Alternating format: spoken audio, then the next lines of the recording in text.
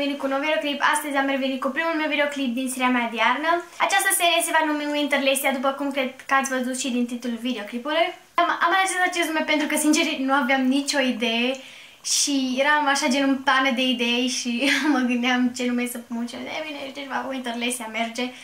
Dacă aveți voi idei mai bune, lăsați-le la comentarii și poate o să schimb numele, dar poate o să las pe acesta pentru că îmi place destul de mult. Apropo, sper că vă place fundalul meu. Da, am făcut așa mai de Crăciun și sper că vă place.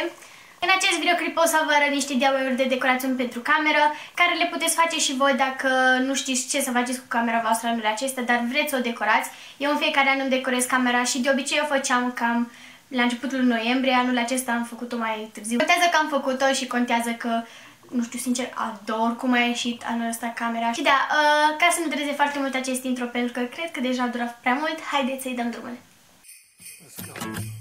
It's the most beautiful time of the year Lights fill the streets spreading so much cheer pentru acest DIY veți avea nevoie de o ramă de poze, hârtie chalkboard care am luat-o de la Kaufland acum un an, nu știu dacă se mai găsește, sau psea chalkboard care se găsește pe internet.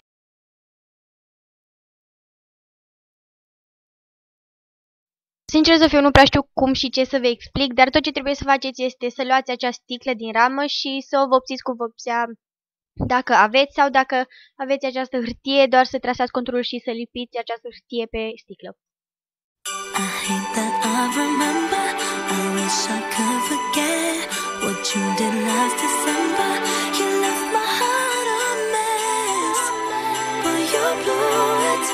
How could you do it, do it?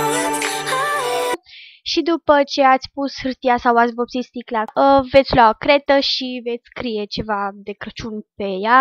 Eu am scris Let It Snow, dar puteți face sau puteți scrie orice altceva și acest DIY îl puteți face nu doar de Crăciun, puteți face acest DIY pentru vară sau pentru primăvară sau pentru toamnă și puteți scrie orice altceva.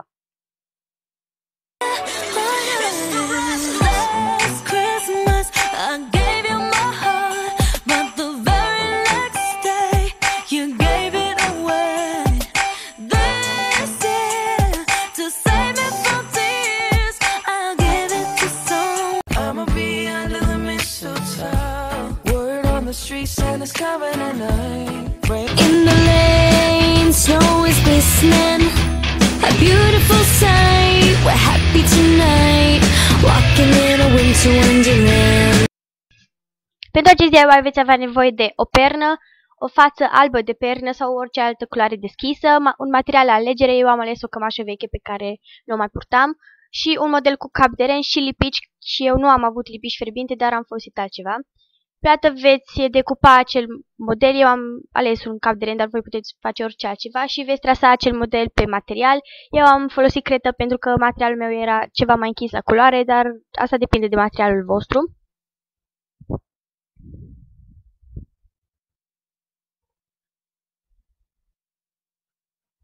Și după ce ați trasat acel contur, va trebui să-l tăiați și apoi să-l lipiți cu lipiciul fierbinte. Eu n-am avut.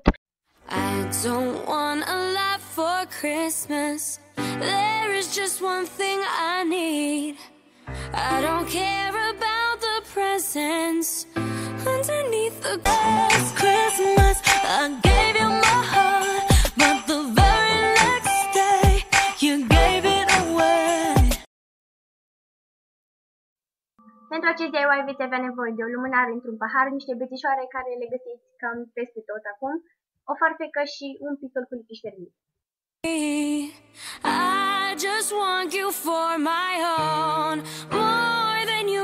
Începe prin a lipi aceste bițișoare cu pistolul de lipit și aveți grijă să le lipiți cam la același nivel pentru că acolo sus nu contează pentru că oricum arată mult mai bine dacă bițișoarele nu sunt de aceeași înălțime, dar jos arată foarte, foarte urât și Sincer să fiu, cam stă strâm dacă nu tăiați aceste bișoare cam la același nivel.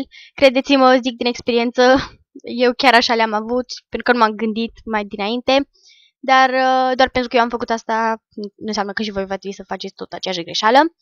Și după aceea, după ce ați uh, tăiat bezișoarele în caz că nu erau puse cum trebuie, opțional puteți pune o fundiță roșie sau orice altă decorațiune uh, de Crăciun pe lumnare și apoi e gata.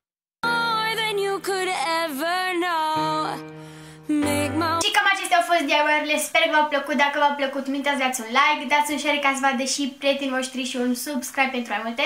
Dacă recreați vreunul din aceste DIY-uri, nu uitați să-mi trimiteți poză pe Instagram, Twitter sau ce site de socializare, care o să fie toate în descriere. Cam atât am avut de spus, ne revedem la următorul videoclip săptămâna viitoare. Pa!